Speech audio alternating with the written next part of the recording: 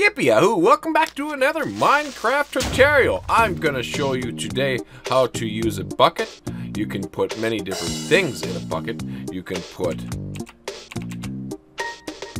you can put lava in there, you can put water in there, and you can put milk in there. I didn't realize you can actually put milk in a bucket.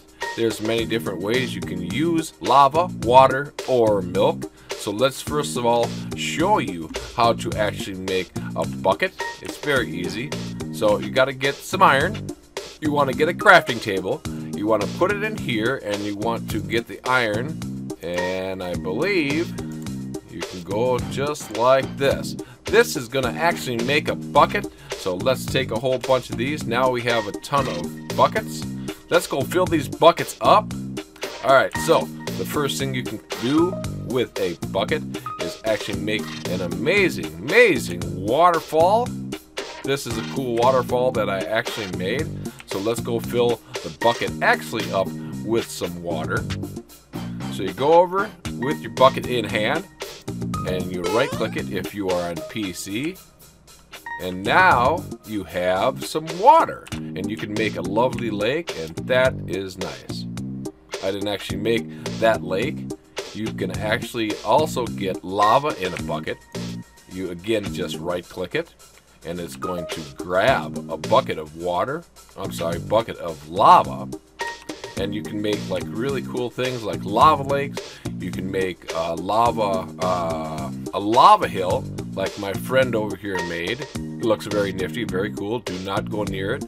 Also, one other thing I want to show you. If you accidentally, let's get over here to uh, our lava lake.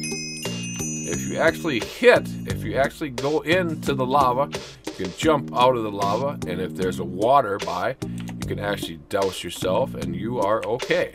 The next thing, really cool, really nifty that I actually just learned from the amazing llama monster. Let's see, let's let's let's go get some milk.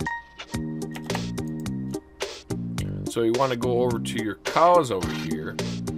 And again, very easy, very easy. This is very easy. You just gotta have some iron and you can make buckets.